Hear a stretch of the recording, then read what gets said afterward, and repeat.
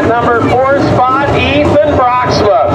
Going to roll that 11 car. Of course, he went to Arizona this winter, picked up and had some luck down there. Jared Van Deest down there to give him the old congratulate. Nothing, nothing, nothing. Says, boy, I had something for you if I could have got you.